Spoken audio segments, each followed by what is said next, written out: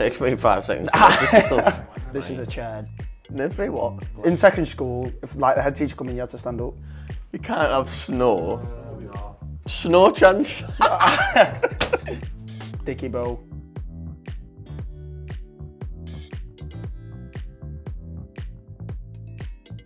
Name three things you always have in your wash bag. Deodorant, aftershave, face cream. Name three sports that you do not use a ball for. Can't think. I have to do another one. Three spot. Oh yeah.